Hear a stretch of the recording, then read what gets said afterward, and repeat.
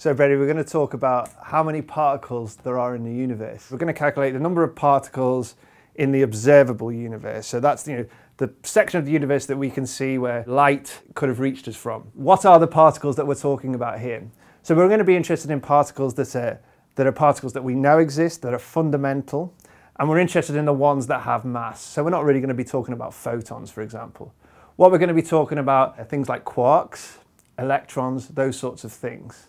So the quarks, of course, are going to live inside protons, neutrons, and, uh, and the electrons are going to be in orbit around uh, those, those protons and neutrons in atoms. Pretty much everything else is, is insignificant. So how do we do this? So we're going to use four bits of data. Part of it's going to be cosmological data. Data from the Planck satellite, which measures the cosmic microwave background radiation. People call it the, the radiation that's left over from the Big Bang. It's the radiation that, that you get after you know when the first sort of neutral atoms began to form. So we're going to we're going to use data from that and a little bit of particle physics data as well. So these are the four bits of information we're going to use.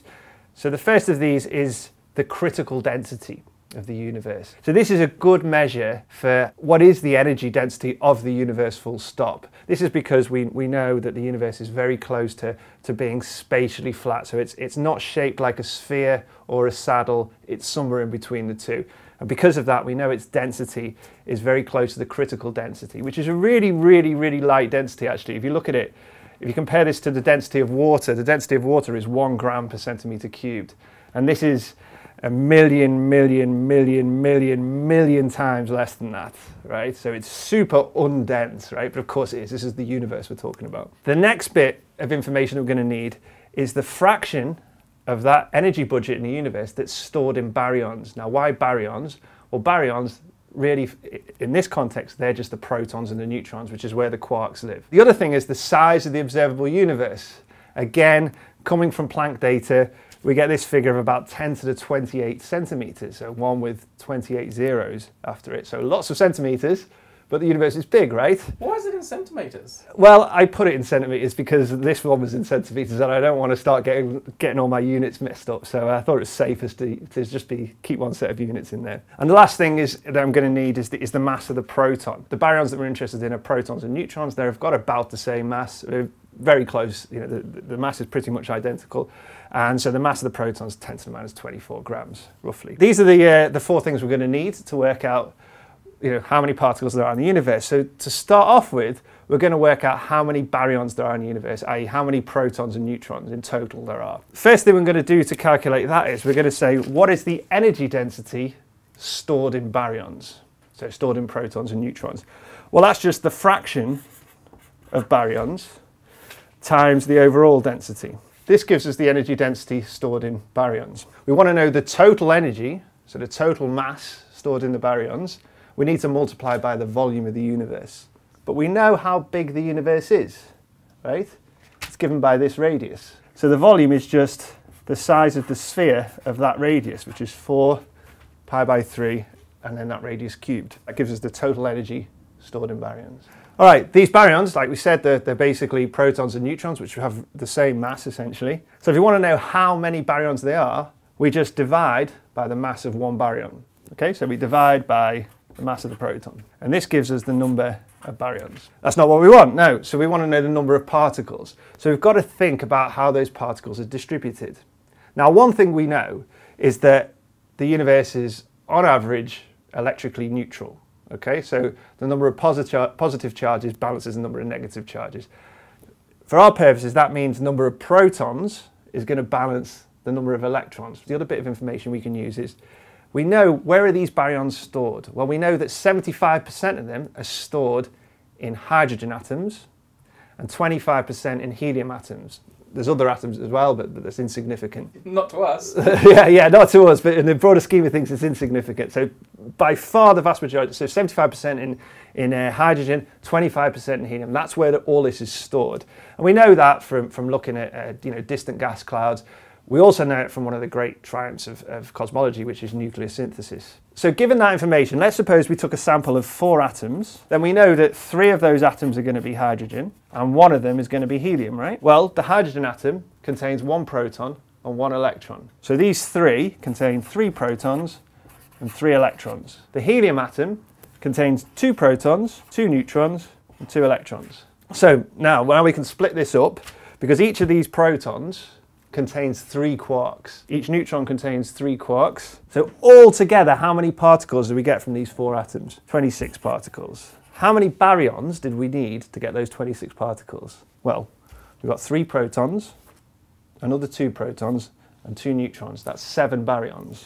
Okay, so we get 27 particles from seven baryons. So we know how many baryons there are in total. We know for every seven baryons we get 26 particles. So if we want the total number of particles, we just need to multiply this number by 26 over 7. So we just plug in all the numbers, da, da, da, do a bit of magic, and what do you get?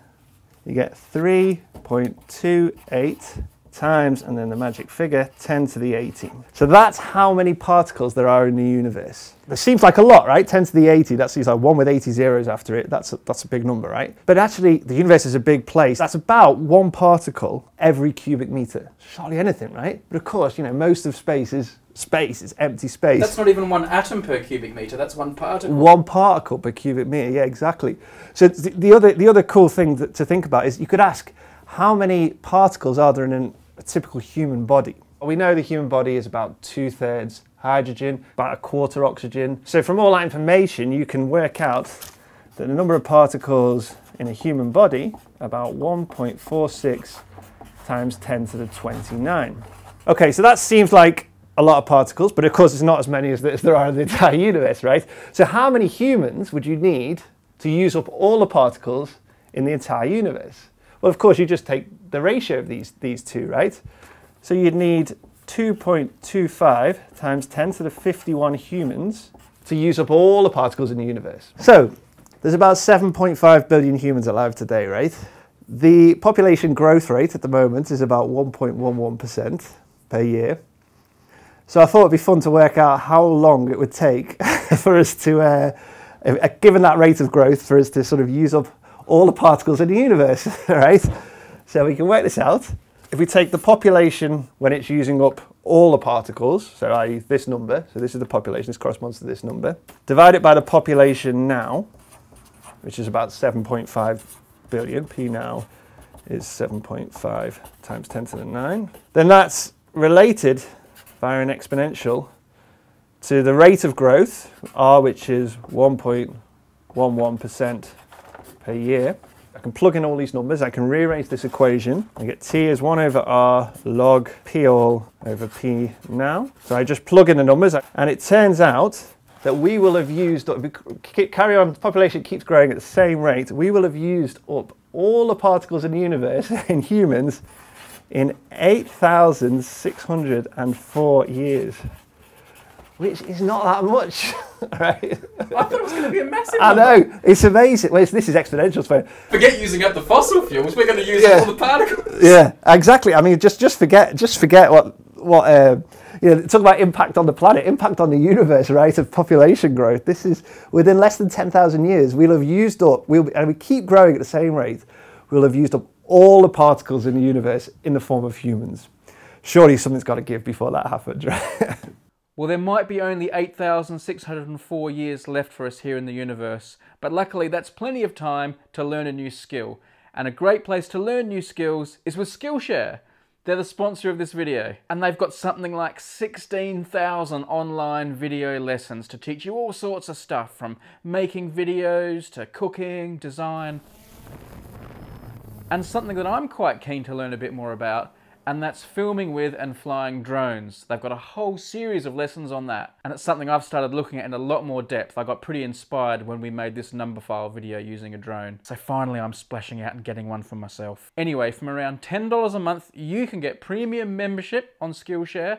You get access to all the videos, including offline. And if you're a Numberphile viewer and you use this URL here, skill.sh slash numberphile, you can get two free months on there. Check it all out, see what you think. One of the things that's impressed me very early on is how well made the lessons themselves are. They're really kind of professional and modern, makes them a lot more enjoyable to watch and therefore a lot easier to learn what they're teaching you.